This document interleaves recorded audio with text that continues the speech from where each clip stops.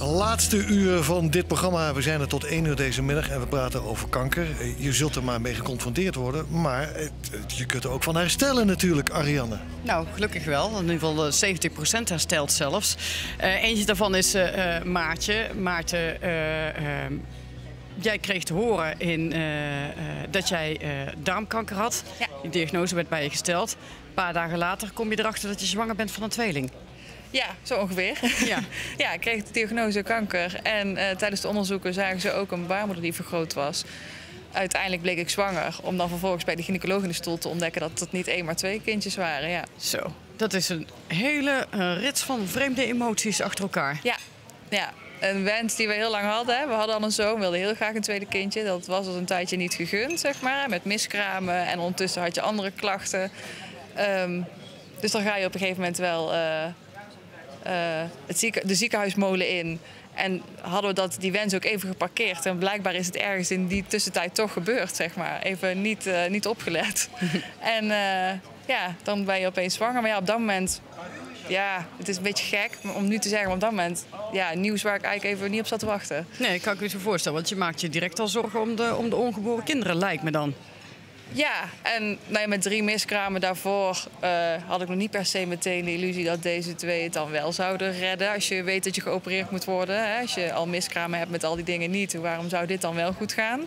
Ehm, maar gewoon ja, een emotie die er gewoon niet bij past op zo'n moment. Ja. Kon, kon gewoon even niks mee. Dan wil je dus, eh, eh, ja, dan ga je dus naar, naar, de- naar het ziekenhuis, naar die oncoloog. En dan Ja. eh, krijgt hij dit pro- probleem Ja, erbij eigenlijk. Want dat is iets wat ook niet zo heel vaak voorkomt volgens mij. Nee, was, er was ook even voor, voor het ziekenhuis hier eh, eh, nou ja, schrikken, even schakelen. En vooral met elkaar schakelen. Nou, dat hebben ze echt fantastisch gedaan.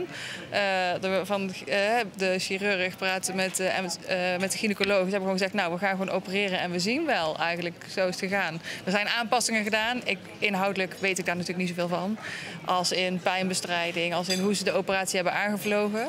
Ehm, maar ja, daardoor... eh, eh, is het goed gekomen uiteindelijk. Wanneer wist jij dat het, dat het goed ging komen en dat die kleintjes ook aan het groeien waren? Ehm, nou, ik ben ehm, geopereerd en eigenlijk direct daarna stond, eh, stond de gynaecoloog al naast mijn bed om te met een echoapparaat om te kijken hoe het was. Hè? Want we waren natuurlijk allemaal wel nieuwsgierig naar.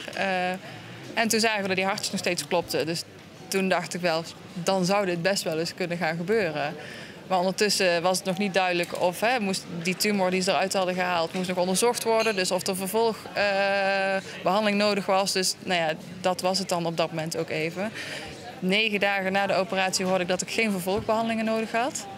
En dan kan je langzaam gaan denken van oké, dus dan komen er straks waarschijnlijk twee mannetjes bij. Ja. Hoe is het met die mannetjes? Heel goed, vier jaar. Dit op de basisschool net een paar weken. Zijn een beetje vermoeid op het moment, maar eh gaat heel goed. Jij bent, eh, omdat je zo dankbaar bent, onder meer ambassadeur geworden van het Katrina Onderzoeksfonds. Ja. Even in het kort, wat is dat? Het Catharina Onderzoeksfonds is een fonds eh, omdat het Catharina Ziekenhuis geen wetens- wetenschappelijk eh, ziekenhuis is. eh, maar wel waar heel veel onderzoek gebeurt. maar dus geen geld kunnen halen bij de overheid.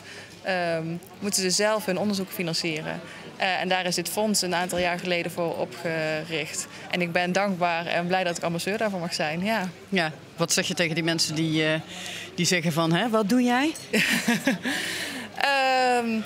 Nou ja, dat, het is gewoon nodig. Het is hartstikke mooi. Dat, hè, er zijn hele belangrijke onderzoeken eh, bij wetenschappelijke ziekenhuizen die ook zeker eh, moeten gebeuren. Aan de andere kant moet er ook heel veel praktisch onderzoek gedaan worden, zodat dingen meteen toepasbaar worden en dat eh, patiënten direct hier in de regio geholpen kunnen worden. Nou, Maartje, hartstikke mooi. Je bent een goede ambassadeur, denk ik. ik doe mijn best. Geniet van al je kinderen. Ga ik doen. En het feit dat je weer lekker helemaal gezond en genezen bent. Een van die 70% dus eh, staat hier naast ons eh, te stralen. Zeker weten. Als een prachtige moeder van net 36 lentes. hè? Dank u wel.